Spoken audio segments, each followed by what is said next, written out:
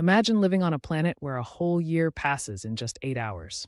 This isn't fiction. For some exoplanets, like Swift J728b, it's reality, orbiting their star in record time, faster than most of us can finish our workday. So, how can a planet move so fast? It's all about proximity. These worlds orbit really close to their stars, and because of that, they experience an extreme gravitational pull. This means they race around at mind blowing speeds, sometimes hundreds of thousands of kilometers per hour. The closer the orbit, the faster the year goes by. But life on such a planet would be unthinkable. Temperatures soar to thousands of degrees Celsius.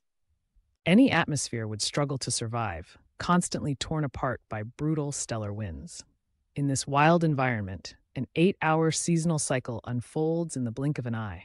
Discovering these extreme worlds helps astronomers understand how planets form and survive. They reveal that our universe is filled with wildly unpredictable systems, busting myths about what we thought we knew. So, next time your day feels short, remember a planet where a year is just a lunch break. If this astonished you, be sure to hit like, subscribe, and stay tuned for more cosmic adventures and discoveries.